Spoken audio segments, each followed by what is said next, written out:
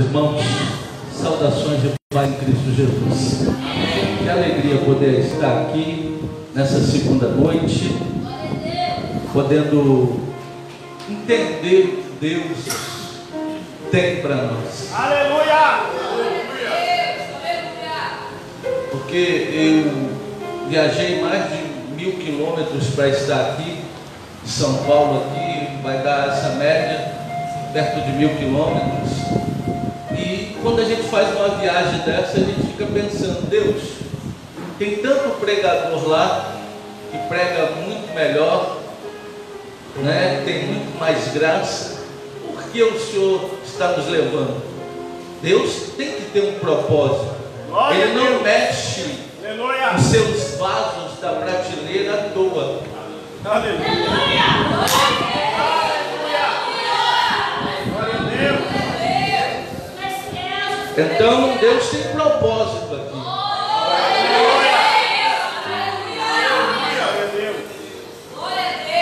Queria que você abrisse a palavra do Senhor, Evangelho de Marcos, mesmo texto que abrimos ontem. Marcos, capítulo de número 6.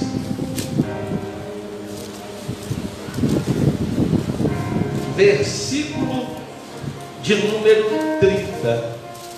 Evangelho de Marcos, capítulo de número 6, versículo de número 30. Quando você encontrar, diga em bom som, glória a Deus. Evangelho de Marcos, capítulo 6, versículo de número 30.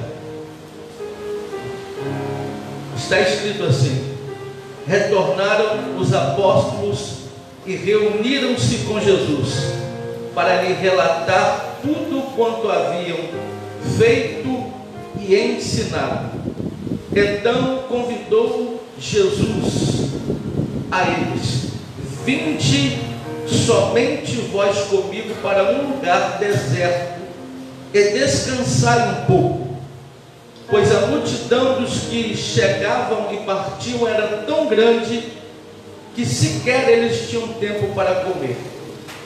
E saindo do barco, e saindo de barco foram para um local despovoado. Entretanto, muitos dos que viram-se, dos que viram retirando-se, tendo-os reconhecido, saíram correndo a pé de todas as cidades e chegaram lá antes deles. Quando Jesus desceu do barco, observou enorme ajuntamento de pessoas, sentiu compaixão delas, porquanto eram como ovelhas sem pastor. E sem demora passou-lhe a ministrar-lhes muitas coisas. E com o passar das horas, ao final da tarde, chegando, e por isso os discípulos se aproximaram de Jesus e avisaram: Este lugar é deserto e a hora já é avançada. Despede-os, pois, a multidão, para que possam ir aos campos, aos povos vizinhos comprar para si o que comer. Jesus, porém, respondeu: Provei-lhes vós mesmo de comer. Ao, ao, ao que lhe replicaram, dizendo: Devemos ir comprar cerca de 200 denários de pão para dar-lhes de comer? Mas Jesus lhes indagava: Quantos pães têm de verificar?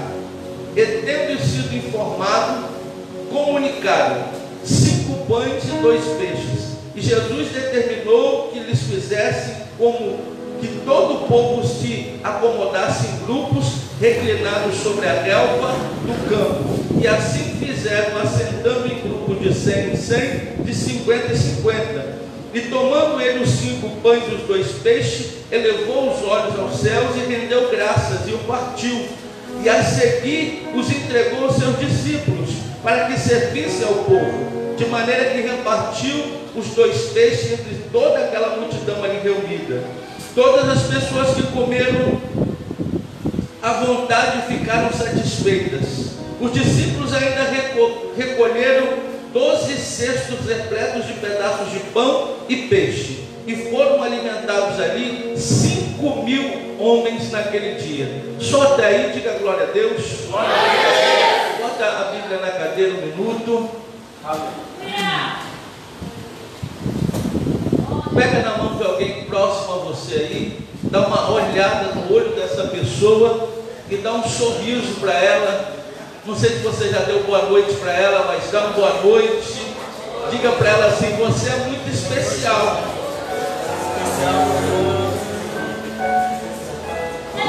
Isso. Libera uma palavra, libera uma palavra profética na vida dessa pessoa. Diga para ela assim: hoje o Senhor vai olhar dentro, dentro de você. Oh glória! Vamos orar mais uma vez? Papai, te damos graças por mais uma vez podermos nos reunir na tua casa. Te damos graças porque o Senhor faz como o Senhor quer, da maneira que o Senhor quer, no tempo que o Senhor quer. Pai, nesta noite, eu tua graça, pedindo a tua compaixão, pedindo a tua misericórdia. Ah, me Ah, Senhor, dá força ao cansado, renova o que não tem vigor nenhum. Deus quebra cadeias, quebra grilhões, neutraliza o adversário, renova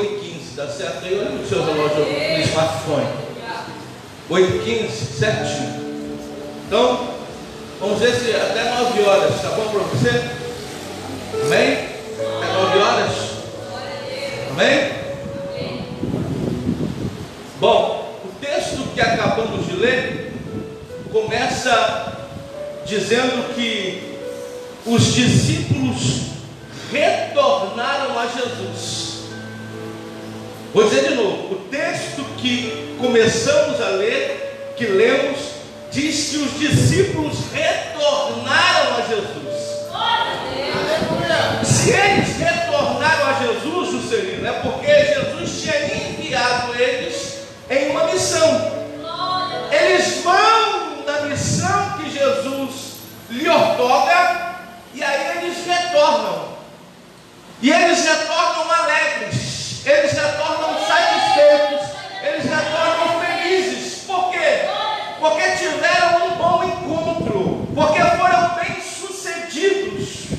E aí então eu começo a ministrar no meu braço. Olhe para mim, por favor, em nome de Jesus. Toda vez que você sair para fazer algo debaixo da palavra de Jesus, segundo a orientação de Jesus, segundo a direção de Jesus, você pode ter certeza de uma coisa: você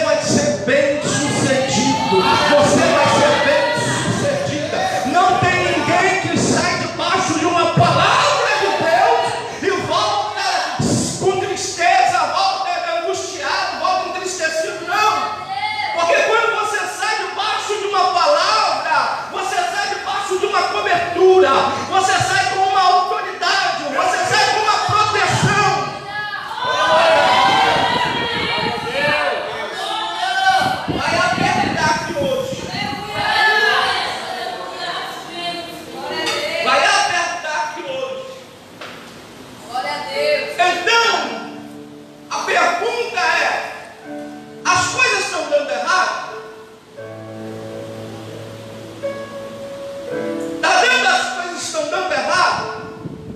Se estão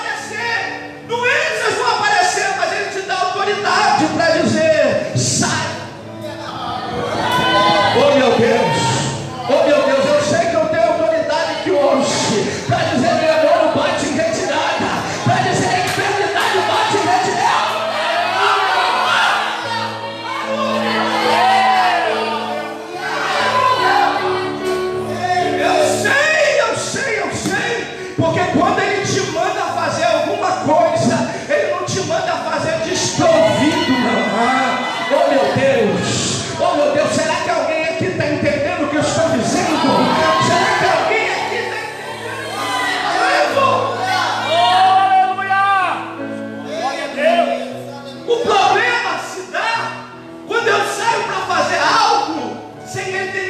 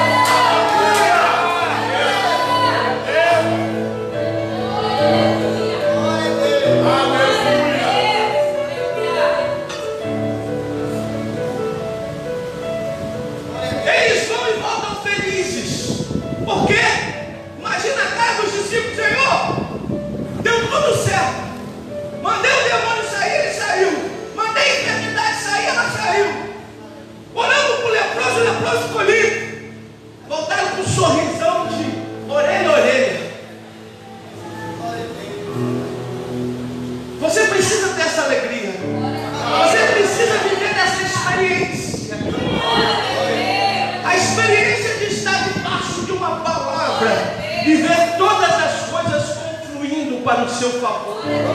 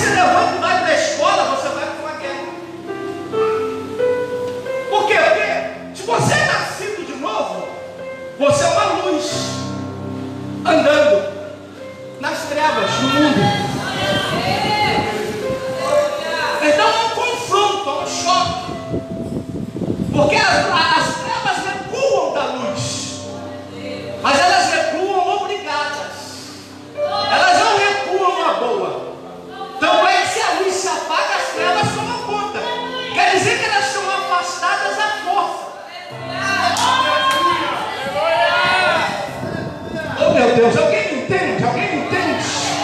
Alguém entende? Então eles foram para uma batalha, eles foram para uma guerra, expulsar demônios, curar enfermos, pregar o evangelho. A nossa vida é um desgaste. Por que você chega em casa no final do dia e você chega e fala, eu estou morto hoje, eu estou morta hoje? Por quê?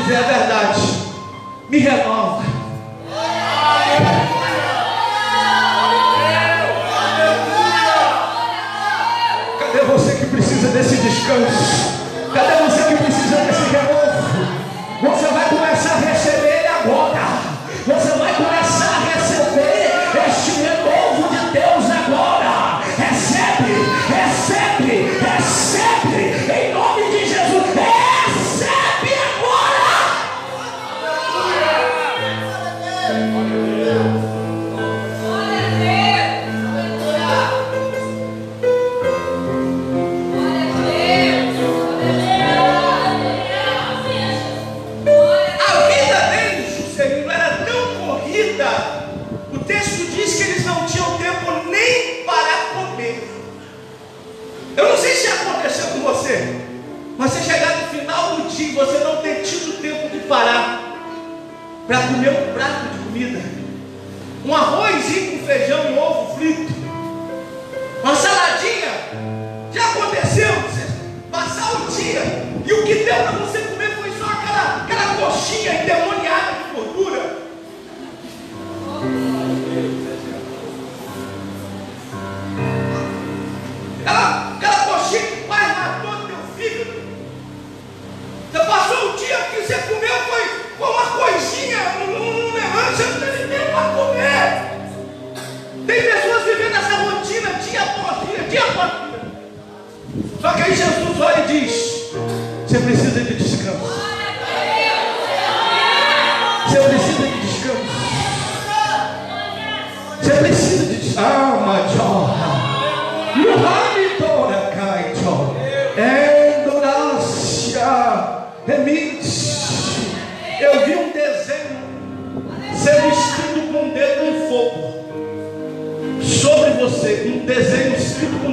Fogo. E o desenho era de uma casa. Deus me disse: diga a ela que estou visitando a casa dela.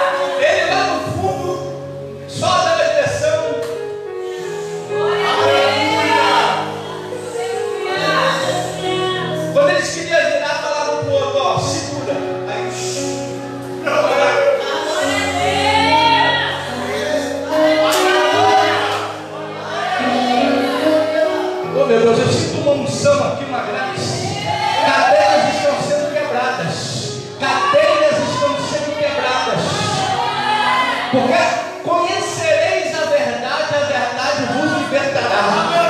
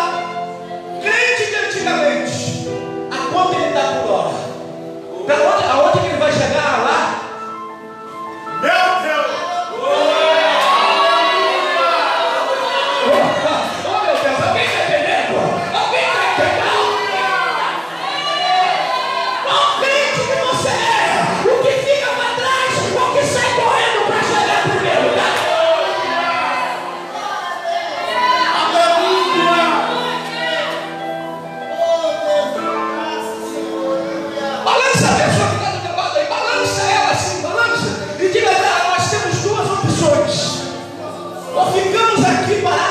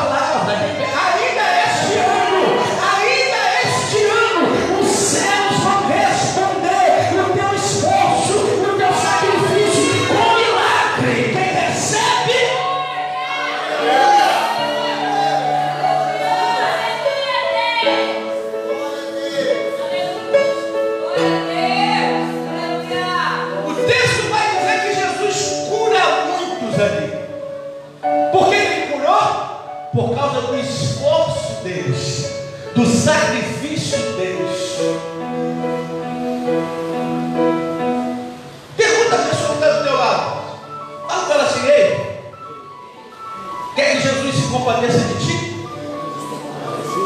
Então não chora, não grita e também não bajula.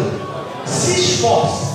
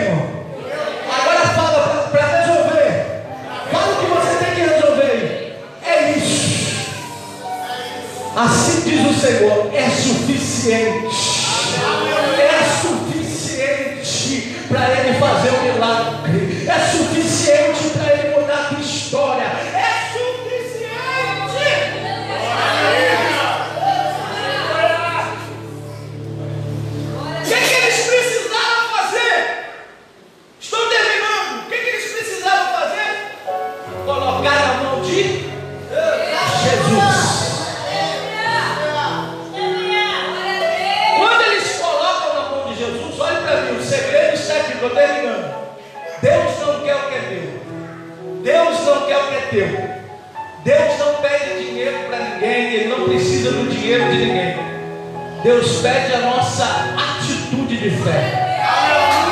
Deus pede o nosso ato de esperança. Deus pede